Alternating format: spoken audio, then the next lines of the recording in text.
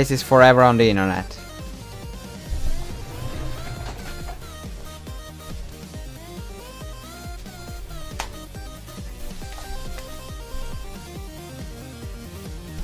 Oh, I don't have space for this.